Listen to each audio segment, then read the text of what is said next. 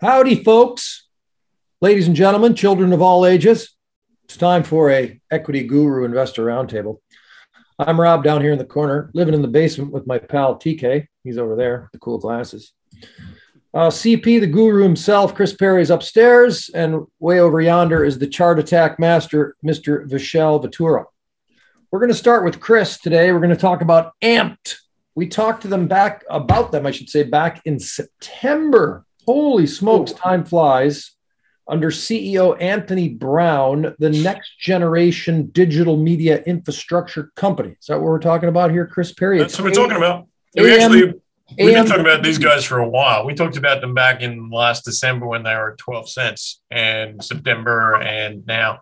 Uh, anyone who got back got in back then is uh, riding a nice rise. Um, so the the Coles notes on Amped is uh, what they call it is high performance computing. That's kind of a catch all for a whole lot of things. Think back, if you will, to the early days of the internet when uh, things like Real Player and Napster were kind of popular. Uh, the the ways to to consume video and audio were very um, cutting edge at the time because they they basically worked. Uh, but at a very low bit rate, very low quality. People were listening to MIDIs back then. Mm. If you understand what a MIDI is, then you really are aging yourself. Um, Galen in the control room is smiling away. It's a it's a middle-sized beer in New South Wales. Is a MIDI. Is a MIDI. That you are mi- MIDIs you and are correct, sir. Oh, yeah. The the most important version of the MIDI. Right. Uh, so back then, uh, in the, the golden days of the internet, when uh, we all had modems that went um, it was pretty impossible to get any sort of video happening online of any consequence. Um, you know, some audio, but it required peer-to-peer technology because you couldn't really have one central database where it was all flowing. Today, Spotify is a thing, Netflix is a thing. We're talking about the metaverse and whatnot. And basically, the internet has to grow up for all of that stuff to really work. Right now, the internet is built for one-way video uh, or one-way music or e-commerce. That's pretty much it. If you were wanted to play video games like uh, Netflix distributes movies, with you know where you're connected to like a central repository of all the video games in the world, you would need video going back and forth, and that's just not possible in today's internet. Um, so what uh, Amped is doing is basically saying, okay, so for the next wave of computing needs, artificial intelligence, big data, uh, basically 5G levels of, of uh, heft, you need a whole new internet. And, and, and though building an entire new internet would require trillions of dollars and it's not going to happen from one company, uh, what they can do is they can go out to companies like Boeing that might have a really, really data heavy research project. And instead of sending that data across the internet for two years, while it all goes in, and into a, a central body and gets computed. Amped just basically builds a pipeline from one side of their building to the parking lot, builds a data center of like ultra high performance computers, and that stuff is basically piped in. So in real world terms, they've got to deal with uh, Bardel Entertainment, which creates uh, Rick and Morty, uh, which we're all familiar with, hopefully. Um, and uh, they do a lot of animated uh, movies, animated TV so video rendering on that scale is really, really, really intensive computer stuff. So you don't want to just be shooting that stuff on the internet to an Amazon Web Services server uh, because you're going to get killed on bandwidth fees. You're going to get killed on on uh, computational needs. When Black Friday comes along and Amazon takes all of their bandwidth for themselves, and you're sitting there trying to render your TV show that has to be uh, on Discovery Channel by Monday, you're kind of out of luck. So Bardel came to come to Amped Amped build a giant data center across the across the block from Bardel, and now they're just like running things around the clock in bespoke setups that have all the tools that that customer needs, rather than the, the tools that Amazon would like everybody to use. So that's the, the basics of it. Now, as you expand out from that, there's a lot of things you can do with high performance computing. Uh, Facebook watches or Meta watches will have seen Mark Zuckerberg's unfortunate, awkward announcement of the metaverse uh, that apparently, if we're to believe him, will involve an avatar of him floating around in a skeleton outfit saying, What's happening, young friends? if you've seen uh, Ready Player One, the Spielberg movie from a couple of years ago, where uh, it basically illustrates the potential of a heavy uh, uh metaverse uh, where, you know, basically Second Life on steroids, right? Where you can be whoever you want to be, you can do a whole range of things. You can sit at home, get your work done, play, uh, seduce somebody, blah, blah, blah. In order for that to work, you need to do essentially what Amped is doing Mm-hmm. Now, Facebook's putting $10 billion and 10,000 employees towards this, and they will fuck it up. Same way they fucked up crypto, same way they fuck up everything else. So, but the fact that they're doing that means you're about to get into an arms race for that sort of technology or that end result. So, Amped is right in the midst of where they need to be to be the perfect spot for that. They're either going to get a lot of business or they're going to get acquired. That's just the way it's going to be.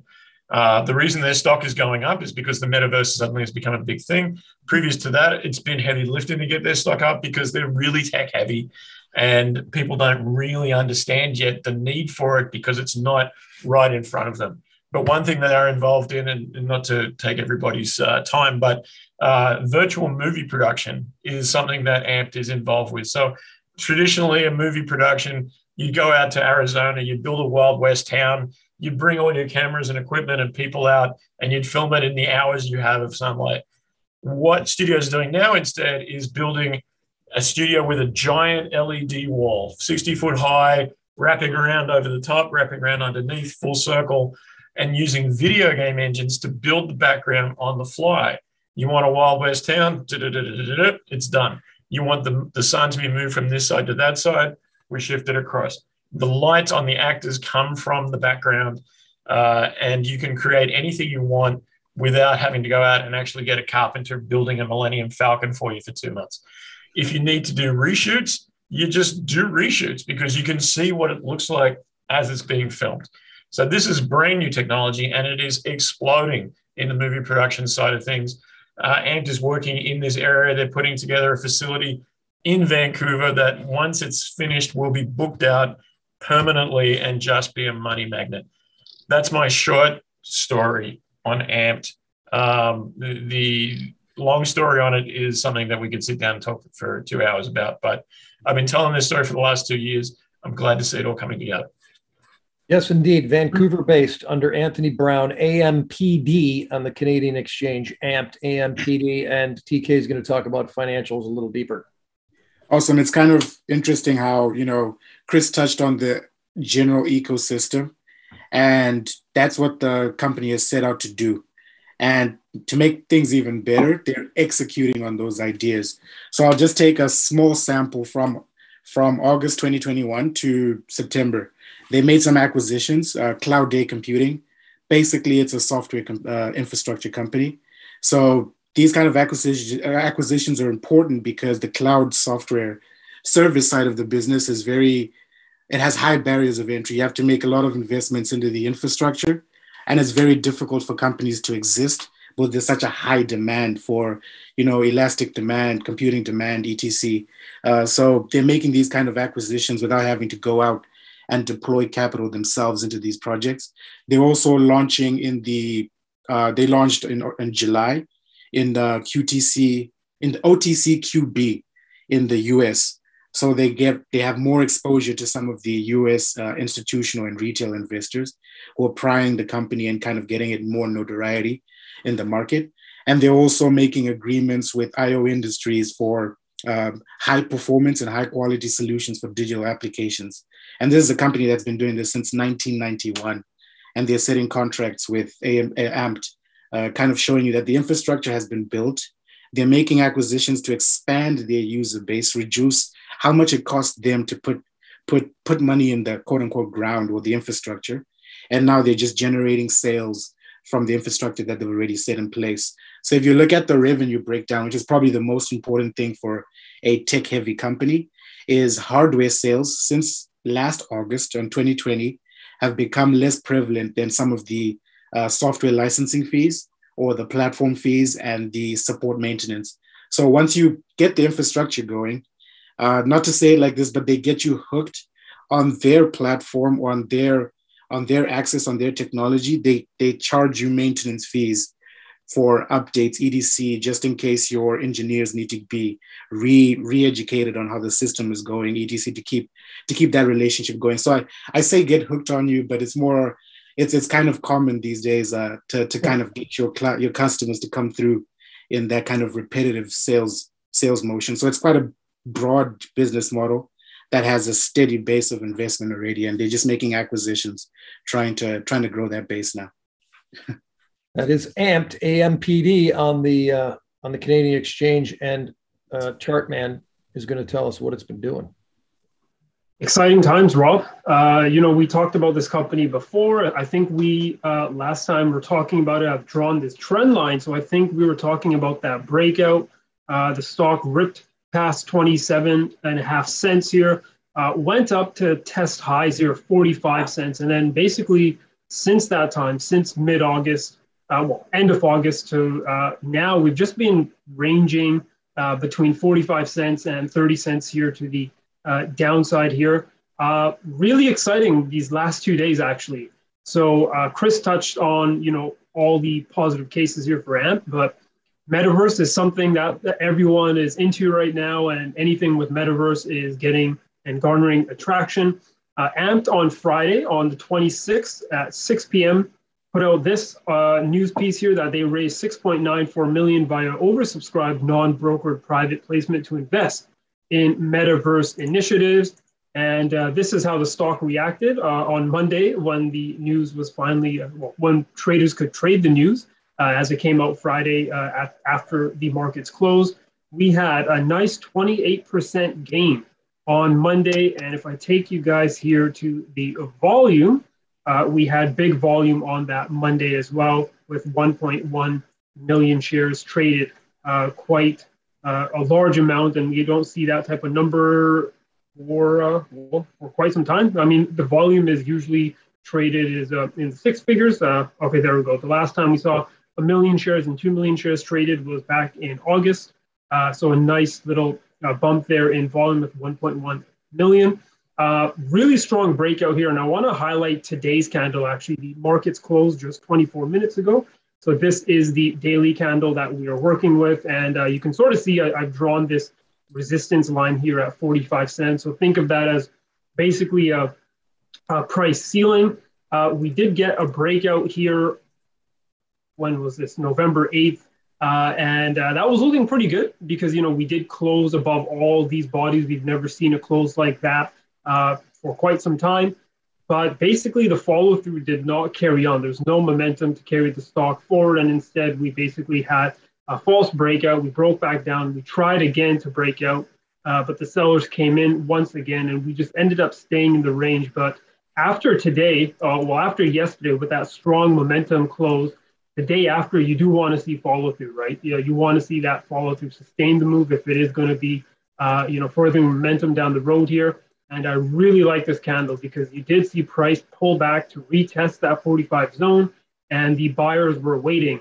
And they stepped in and they took the uh, close, uh, almost, you know, taking out the highs of the day. The highs of the day today uh, was traded at 50 cents, um, and it closed at 47 and a half cents. So we should probably talk about 50 cents as well. That is generally seen as an important psychological zone for these stocks under one dollar. So I think in the near term here, let let's see if the stock can stay above 45 cents uh, with the volume and you know with uh, the momentum today on that retest. It's looking really positive. I think if you get that close above 50 cents, you take out another important psychological zone. And I'm going to just scroll out here because to be honest, there's no more. Well, maybe there's some resistance here at 60 cents, but I think uh, the next long-term resistance you're looking at is basically previous all-time record highs at 70 cents. Uh, so it's looking really exciting. There's a lot of room for the stock here to move. Um, as Chris said, you know, all the, the, the great positive news there. And I think uh, the stock is going to get a bit more of a bump here and more interest uh, specifically on the, the metaverse push here as we saw yesterday. And I just love to see that little uh, September rally after the last investor, uh, last uh, equity guru investor roundtable. Oh, by the way, um, Chris, before you pass out your money and what you might do here, tell us about the lid that you're wearing because if people are watching this the day that it's released, that would be Thursday, and you have a little something going on. Oh, Thursday night we're at Studio Nightclub, Nation Extreme Wrestling. The chase for the championship final rounds will be taking place. Uh, tickets are thirty bucks, and it's going to be a, a gong a gong show uh, in a good way. Uh, Saturday night we had the first few rounds. It was a sellout and uh, lots of good vibes. Um, we will crown a, the first champion of Nation Extreme Wrestling, and uh, then we go to the Commodore on January 15. Gonna be great. All right, back to Amped. Uh, look, there are a few things that I love about this company. I, I, the people who are behind it, I know they're real operators, right? These guys have been in this business for 20 years. And, you know, as much as virtual reality has been a, a 40 year project that's not yet taken off, um, these guys have been at the cutting edge of delivering video game hosting, uh, rendering. You remember back in the day when when crypto first took off, blockchain was a big deal, and everyone was buying their servers as quickly as they could get them. And then when blockchain fell off a cliff, everyone said, "Oh well, we're going to use our servers for video render." Not one company did because the first thing you have to do to, in order to, to make that change is to actually know people in the video rendering business these guys have worked with video game video game companies, movie distributors for years. They've been actually building out their production studios, so they have the contacts. The second thing you, do, you need to do is to have an actual setup that works for video rendering, and that's not ant miners that are mining Ethereum. The third thing you need to do is be able to wrestle these guys away from Amazon Web Services, Google, and Microsoft. That's the real hard bit. And that's why AMPed has taken a couple of years to really get its wheels moving. Because the first thing you've got to do is prove that you can do it. You've got to find one big client that will allow themselves to be the hamster, uh, the canary in the coal mine, and actually show that you can deliver. Well, they got that in Bardel. Now they're starting to bring in more and more and more clients, but it's taken some time. Revenues have been, you know, slowly moving up and not nearly as quickly as, as the market would like but now they're starting to get their, their shit together.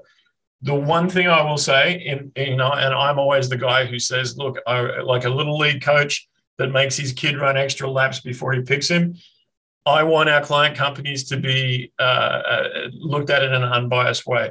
One of the guys that's coming in heavily on these financing is Sheldon Inwentash. Now, he's got a reputation as someone who comes in heavy, drives up the price, and then leaves. And so that is a concern for me as someone who's been in this stock for a long time.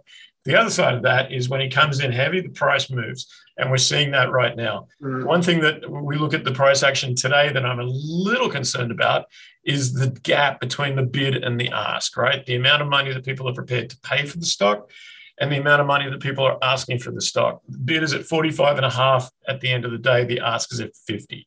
So that tells me that there's a couple of competing interests that are either stacking in, looking for stock, and a couple that are selling. It's not a broad base of volume, right? It's not like a thousand people buying and selling.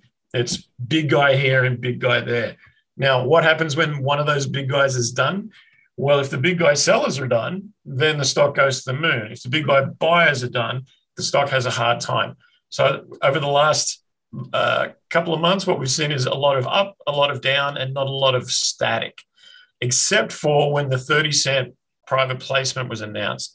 Uh, then you saw that through the month of October, the stock did not move because people who had stock that were above that price were selling to get into the private placement. People that were going to buy the stock were uh, buying those shares, but not getting any traction upwards as a result. As soon as that private placement pretty much closed, then it started moving. And a 30 cent uh, private placement right now at 48 and a half cents, it's a pretty good deal for everyone who got into it. I'd be looking at four months' time to hopefully the stock is on a move. And uh, uh, when that private placement becomes free trading, you don't get that downward pressure that you often get.